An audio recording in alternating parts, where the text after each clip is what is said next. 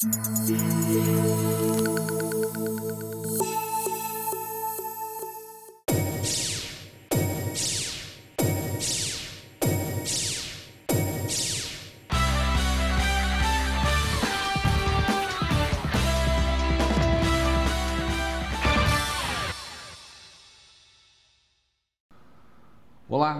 hoje é dia de a gente falar de música, de música boa, de um bom acordeon.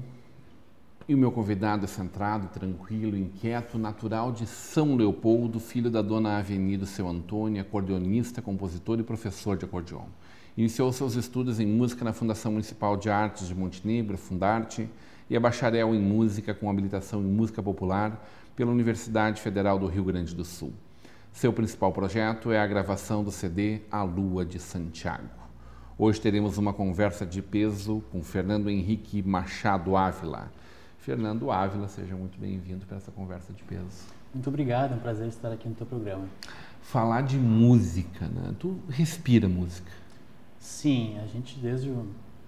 diariamente, semana, final de semana, a gente trabalha com música e está envolvido em tempo integral com isso, ministrando aulas, tocando, compondo, pensando música? Tocando e compondo são quantas horas do teu dia? Tem, tem uma rotina? Hum, tem disciplina para isso? Hoje em dia não há mais essa rotina em meio a tanta turbulência de atividades Sim. que a gente desempenha, né? Durante um tempo atrás haveria mais rotina, mas a questão de compor é muito, às vezes, casual, não é um exercício meu diário fazer isso. Mas quando vem uma, uma inspiração, né, como as pessoas gostam de, gostam de dizer, mas o tocando é, é, diário, é todo o tempo. Quando não está praticando para si, você está praticando para o aluno ou para um arranjo que você está escrevendo. Né? Natural de São Leopoldo.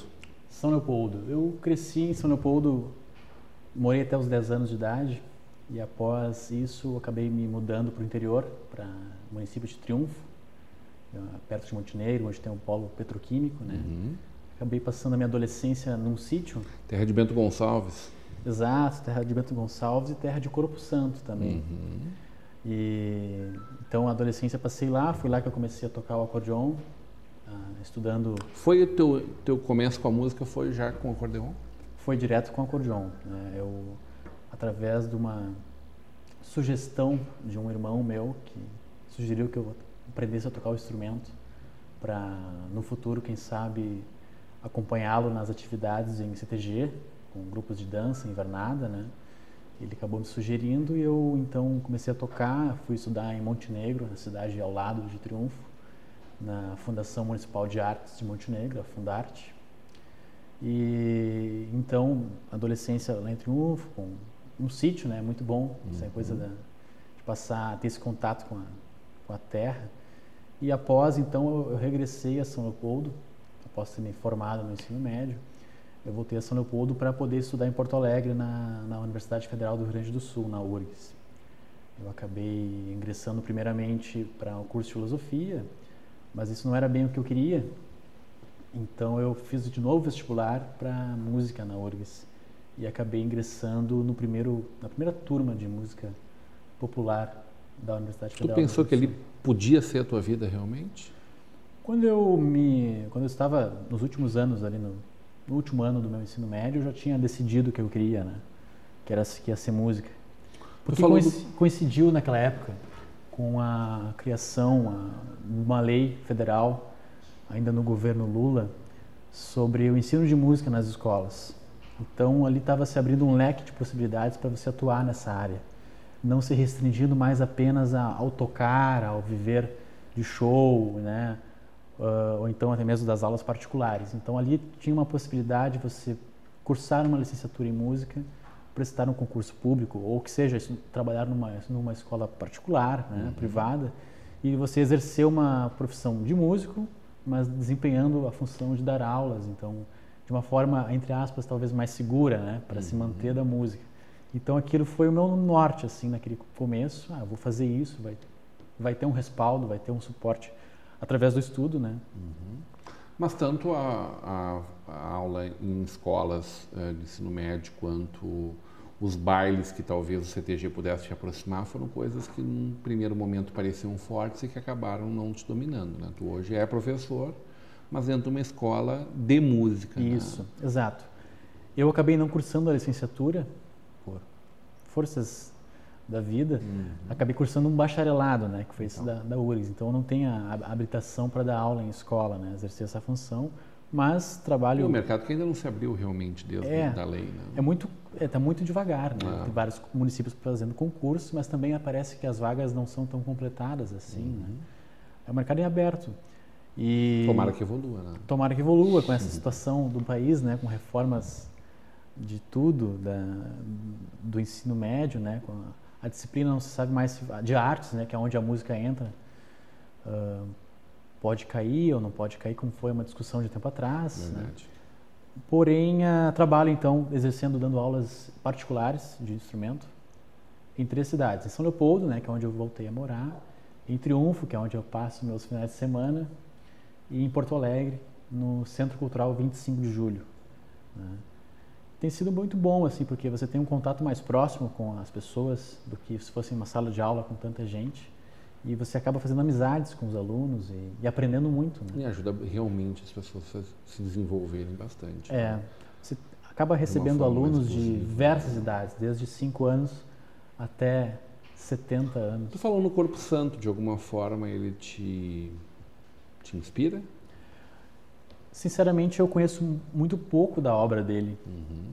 mas uh, ele é uma pessoa, foi um, dramaturgo que é, que é mundialmente reconhecido Exatamente. e ele é muito esquecido uhum. por muitas pessoas. Acabam lembrando apenas de Bento Gonçalves, o herói Farroupilha, sendo que nós temos uma pessoa que trabalhou na, na vida artística, né? Uhum. Talvez por isso que eu me reconheça, que eu lembre dele, por ser um talvez um igual né, na minha trajetória, assim, na, na carreira, no trabalho, alguém que trabalhou com arte.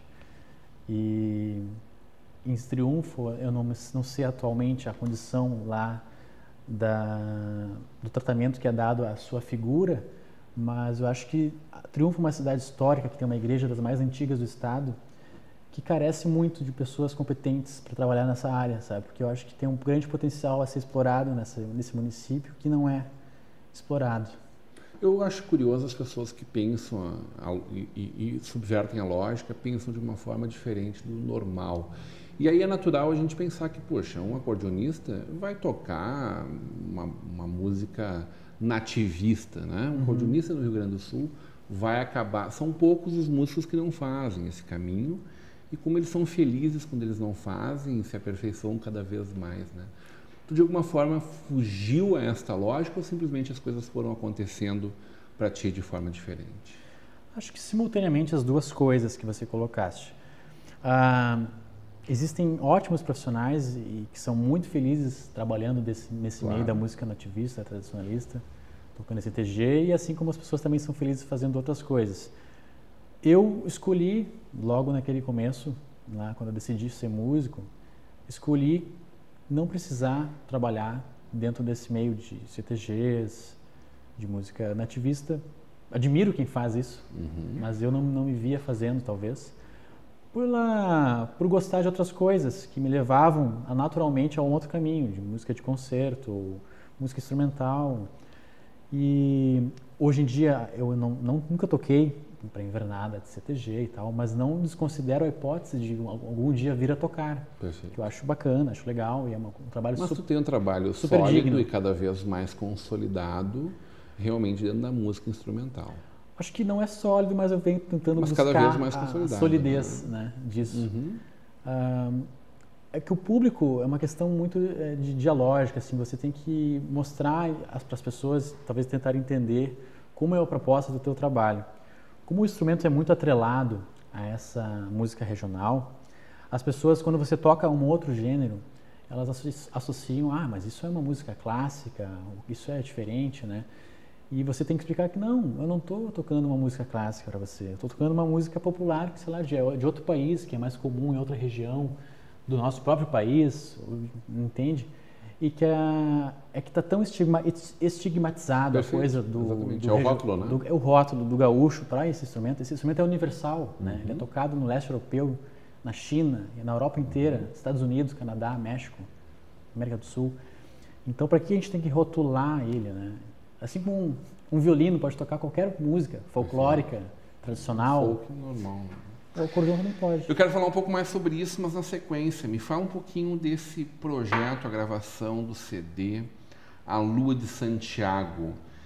Financiamento coletivo, né? Financiamento coletivo. Está nessa busca uh, por, por fazer esse financiamento. É. Ainda faltam recursos para te conseguir Sim. terminar. Trabalho independente, né? Uh, música instrumental, composições minhas e de amigos. Todo ele é, são músicas nossas aqui, são composições tuas de pessoas muito próximas. Isso, compositores daqui de São Leopoldo, de Porto Alegre. E arranjadas, essas composições arranjadas para acordeão e quinteto de cordas. Perfeito. Muito inspirado no trabalho do acordeonista paulista Toninho Ferragutti. E o disco, todo ele, o repertório, é tecido por uma ideia de, de um poema que é chamado A Lua de Santiago, que é um poema homônimo ao disco, e que conta um pouco da, do momento vivido uh, por mim com o menino Santiago ao contemplar a lua no céu e me mostrar essa lua. Então eu compus uma música chamada Luna, dedicada a ele. Vamos ouvir ela? Vamos ouvir e ela. Na volta do intervalo a gente conversa um pouco mais sobre a, o CD A Lua de Santiago.